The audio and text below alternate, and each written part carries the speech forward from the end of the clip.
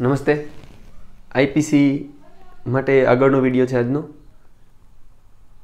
Last જે video છે એમાં બસો અઠ્યાવીસ સુધી આપણે મહત્ત્વની કલમ લીધી હતી. અહીંયા થોડીક કલમોની સાથે સાથે અમુક શબ્દો જે આઈપીસીમાં પ્રયોજાય છે.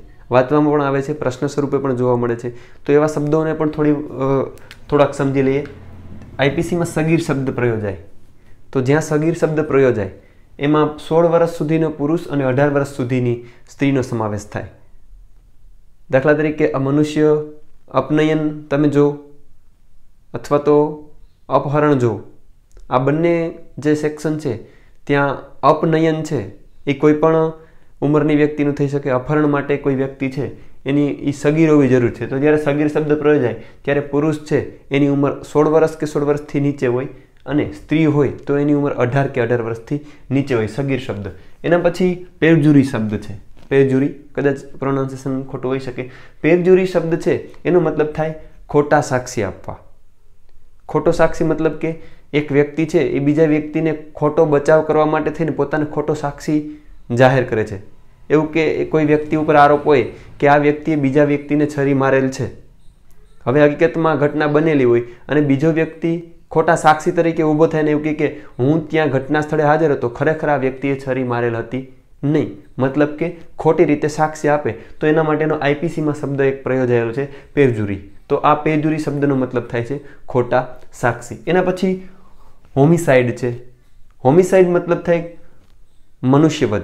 ખૂન ન ગણાય એ પ્રકારનું મનુષ્યવધ. મનુષ્યવધ અને ખૂન છે એ થોડુંક ગૂંચવણવાળો શબ્દ છે કે મનુષ્યવધ અને ખૂનમાં કેટલો તફાવત છે, તો એને જ્યારે સેક્શન આવે ત્યારે સમજવાનો પ્રયત્ન કરશું. અત્યારે હોમી હોમિસાઇડ એનો મતલબ થાય છે મનુષ્ય વધ સ્ટેલ્કિંગ છે. સ્ટેલ્કિંગ શબ્દ છે. એ પણ મહત્વનો છે. સ્ટેલ્કિંગનો મતલબ પીછો કરવો. કોઈ સ્ત્રીનો પીછો કરવો. કોઈ સ્ત્રીનો ફિઝિકલી પીછો કરવો. એની પાછળ જવું. આવું જે વર્તન છે કે જે એક રીતે સ્ત્રીને હેરાન કરે છે. એવા શબ્દ માટે સ્ટેલ્કિંગ શબ્દ છે એ વાપરવામાં આવેલ છે. પીછો ફિઝિકલી પીછાની સાથે સાથે કોઈના ઈમેલ થ્રુ પીછો કરવો અથવા તો કોઈના ફેસબુક એકાઉન્ટમાં પીછો પીછો કરવો ટ્વિટર સો એન સો, મતલબ કે જેટલા પણ સોશિયલ મીડિયાના ઉપકરણો છે, અહીંયા પણ કોઈ સ્ત્રીને એવી રીતે, એવા ઈરાદાથી પીછો કરવો, એને ફોલો કરવું, એના માટે શબ્દ વાપરવામાં આવેલ છે સ્ટોલ્કિંગ હવે આપણે જે રેગ્યુલર સેક્શન છે, એમાં જોઈએ. સિક્કા સંબંધી ગુનાઓ છે એ એ પ્રકરણમાં. તો ત્રણસો અને બસો અને ત્રીસ કલમ છે, એ સિક્કા માટેની વ્યાખ્યા આપવામાં આવેલ છે.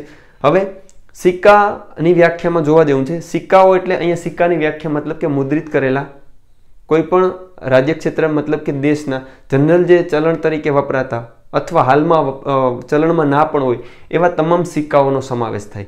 ભારતીય સિક્કા, તો ભારતીય સિક્કા એવા સિક્કા કે જે મુદ્રિત કરેલા, છાપેલા હોય. એ ચલણમાં હોય કે ના હોય, એવા જૂના જૂના સિક્કાઓ છે એનો પણ આમાં સમાવેશ થઈ જાય. તો અહીંયા ત્રીસમાં છે સિક્કાઓની વ્યાખ્યા. બસો એકત્રીસ, ખોટા સિક્કા બનાવવા.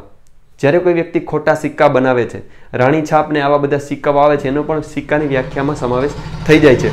બટ કોઈ છાપ એમાં ઉપસેલી ના હોય અને ખાલી એમને માત્ર જે ધાતુ છે એના ગઠ્ઠા સમાન હોય તો આવા સિક્કાઓનો સમાવેશ થતો નથી. અન્યથા જે કંઈ પણ સિક્કાઓ છે એ જૂના હોય નવા હોય, ચલણમાં હોય કે ચલણમાં ના હોય, આવા તમામ મુદ્રિત કરેલા સિક્કાઓને સિક્કા કહી શકાય.